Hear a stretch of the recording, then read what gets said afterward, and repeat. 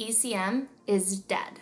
Or at least that's what Gartner said a couple years ago when they renamed it to Content Services. So, what does that mean for you?